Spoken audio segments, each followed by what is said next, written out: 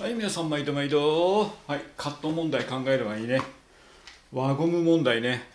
これね空気中の水蒸気で加水分解するわけじゃない？水蒸気っていうのは水の分子の800分の1800分の1だからゴムの中に入って加水分解を起こしちゃう。だったら乾かさなきゃいいんだ今洗ったままね。乾かさない。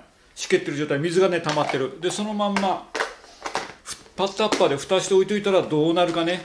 この中にシリコンオイル振ってからこうねほっといてもいいかもしれないよね。なんか白くなるような気はするけどかまんねえからやってみる。それ白くなるかならないかゴム質だと思うんだよね。はいカットね。ちょっと濡らすか。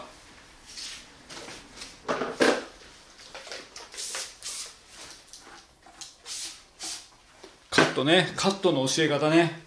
カットの教え方。なんか若い先生自分もそうだったけどやっぱね手つきから教えちゃうよね。とろくさいカットはするのはもちろんねとろくさいカットはしちゃいけないんだけど速いカットもしちゃいけないよね。最近どういうスピードで切った方がいいのかね。一番うまく見えるスピードで切るっていうの？ちゃちゃちゃっとはやんない方がいいよね。うん。一発で切る。今の狙った感じある？うん。まあ、このぐらいのスピードで切んなかったらちょっと先っちょ調子いいね。調子悪いな。ね。まあちょっとこうやって動かしてね。一瞬で切り終わるっつうの。だこれ以上早くやったら雑になるよね。これ以上早くやったら。ね。こんななってやったらちょっと早すぎるっていうのは問題あるよね。パンマ巻くのも1分間で4本がいいところ。4本以上巻くともう雑でたらめ。だ3本じゃ本当に肺が止まるようなスピードだよね。まず初心者にはあのカットのボブの切り方だの何だのよりもこの手の動きを教えた方がいいよね。あの女の子切りお姉ちゃん切りもうこわごわねこここういうのももう NG ね。こういうお姉ちゃん切りね。あと1本ずつ切るのもダメだけどね。ねえどういう手つきがいいのかね。まあこういうふうにスッと切ってパッと終わらせるとやっぱりちょっと狙ってる感がないとねピッとやってね止めてね。でどこ切るってこう分かった状態でパッと切ってパッと終わるね。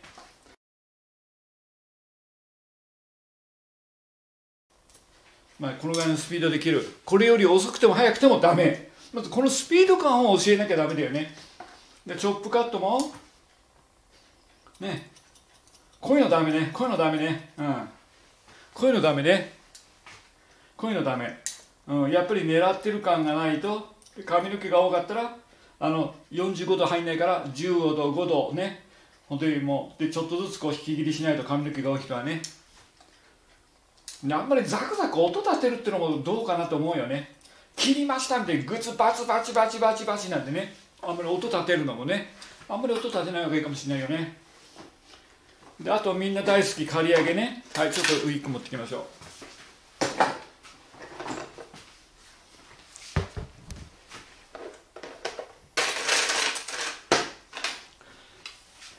やっぱり刈り上げも手つきから教えた方がいいよね。これ美容学校はやんないけど床屋さん学校だとどういう教え方してるかだよね。あのー、やっぱりハサミは長い方が静かに早くできるよね。5.5インチだとやっぱりちっちゃいからね。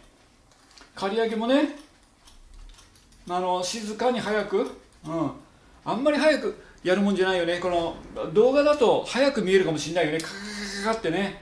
うん、うん、まああの床屋さんが作る刈り上げの面、まあ、美容室でも同じもん作るんだけどやっぱりまっすぐ平らにただ切るだけじゃないけどこの速さ速い方が綺麗なの？速ければ綺麗ってもんじゃないでしょ。やっぱり人間の呼吸に合った速さっていうのが必要だよね。常識の速さ。だこれ以上遅いともうもうかかとまっちゃうよね。蚊に食われちゃうよね指がね。うん。あくまでも心地よい速さね。何秒間これ？心臓の鼓動？1秒間で？1分間で？70回ぐらい？90回ぐらい？60回？1秒間に1回じゃ遅いね。ねえ。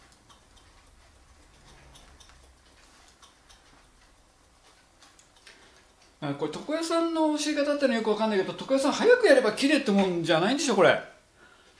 早くやった方が綺麗なの？だから早くやった方が綺麗だからだってさ向きになって早くやっちゃダメだよね。この早くやるのも限度ってあるよね。どっちもそれ自分はもう勉強してないから知らないけど。本当にあのプロの方ってのはどのぐらいのスピードで切るのかね。ちょっと切れないからどうしても引き切りしちゃうからこれちょっとハサミ先ちょっと叩かなきゃダメだねこれ少しね。ちょっとグッと曲がっちゃってんね。うん。ちょっと感じが悪い。感じが悪いね。うん。ここで引っかかってる。引っかかってる。引っかかってる。なんか引っかかっちゃってる。ここでね。引っかかっちゃってる。で押すと入る。ほらここで引っかかってる。ちょっと叩いて直しましょうね後でね。はい。うん。心地よいスピードだよね。まずそこを教えてからカットは手つきをまず教えてこのハサミの動きを教えないとね。パーマのワインディングもそうだよね。早く巻くんだけどその心地よい巻き方を教えてからだよね。自分の刈り上げ見るとちょっと引き切りしてるよね。あれ切れなくなると引き切りしちゃうんだよ。切れる時はあの引き切りできないんだよね。歯が食い込んじゃって髪の毛に。まあそれはだから歯の具合によって引き切りしたりねまあ適当に切ってる。自分はね。床屋さんの皆さんはどうなんだろう？引き切りしてる？あシザーが切れなくなると引き切りしたくなるんだよね。毛先が逃げるから。で研いだ直後とかあのコバを立てたシザーだと引き切りしないでコバを立てたシザーだとやっぱり引き切りできないしにくいと思うんだよね。まあその違いがあるよね。だからシザーの刃の状況によって切り方って意外と変わってくると思うんだよね。あと刈り上げの時のシザーの開閉速度ゆっくりじゃダメだ。早くやれって。早くやれったってさどのぐらいのスピードなのかね。実際見てみないとわからないんだよね。動画だとねちょっと早く見えるよね。実際よりも。だからねカット教える時ねまあ美容学校でねあの国家試験用の切り方ってあるよね。あれは空手で言ったら型っていうやつだよね。実践ではなく型っていう形で教えてあれはあれなんだよね。だ肘を上げて型にはまってこう切るっつうの。それと現場できる実践的なカットっつうのはもう違うからね。まずリラックスして肘を落として。うん、これは肘を落とすのは鉄則だよね。刈り上げの時はどうだか分かんないけどまあ美容業のカットだったら肘は上げないね。一番うまく見えるシザーの開閉とか切り方というか使い方に見える切り方を教えて逆にそれができるようになるまで練習させるっていうのはハサミの使い方を練習させる。ハサミを美しく使う使い方を教える。で仕事を早くするからといってその美しい切り方を崩してはいけないと。カットが遅いのはカットするスピードが遅いんではなくてその他で時間かかってるよね。悩んだり打ち合わせが長かったり。ウィッグのカットだったら淡々に切ってりある程度の時間で終わるわけだから人間になると何で時間かかるのというなったらお客さんがああでもねこうでもねって言ってまあそれに惑わされるというかそれに妨害されて遅くなるんだよね。お客さんが、うん、まあよく言う話ね「先生の好きに切っていいですよ」って好きに切ったら全部切り直しとかね。ロングをねバッサリ切る時ねどこまで切っていいかわからないからちょっとずつ切ってくれとかね。中にはね2センチ切って全部仕上げてからねもうちょっと切ってくださいってね。でもうちょっと切ってからじゃあこれもうちょっとシャギ入れて仕上げたらどうなりますかって。で入れたらまたね全体に入れたらどうなりますかって。全体切らされてね。で切り終わったらもう5センチ切ってくれとかね。そんなのさモーニング頼んでさランチ頼んでさディナー頼んでさうん。でモーニング料金しか払う気がねえみたいなね。ダメだそういうの。